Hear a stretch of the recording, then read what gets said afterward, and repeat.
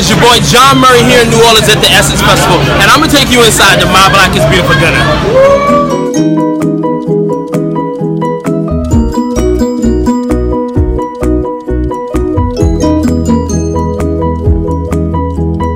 So I'd like to take you on a journey of acknowledgement.